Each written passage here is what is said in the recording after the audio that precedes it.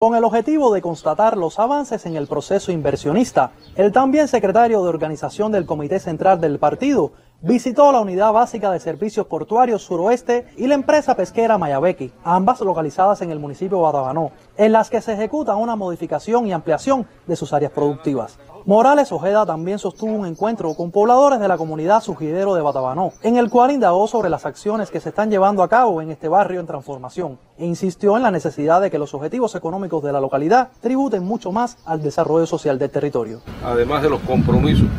institucionales, tengan también compromisos sociales en función de mejorar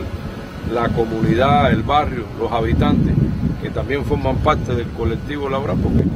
la mayor parte de los trabajadores viven aquí en, el municipio, por lo tanto, lo que están haciendo también lo están haciendo en función de sus propios trabajadores. En la tarde, el dirigente partidista se trasladó hacia Bejucal, donde pudo apreciar la calidad de los ocho apartamentos que les fueron entregados a un grupo de trabajadores del Centro Nacional de Biopreparados, entidad que recuperó el proyecto Comunidad Científica y pretende construir 82 viviendas más para sus profesionales. Finalmente, se interesó por las particularidades del proceso productivo del Biocen, institución que obtuvo la condición de centro de alta tecnología en 2021, el primero en lograrlo en todo el país. Desde Mayabeque, Alain Mira, sistema informativo de la televisión cubana.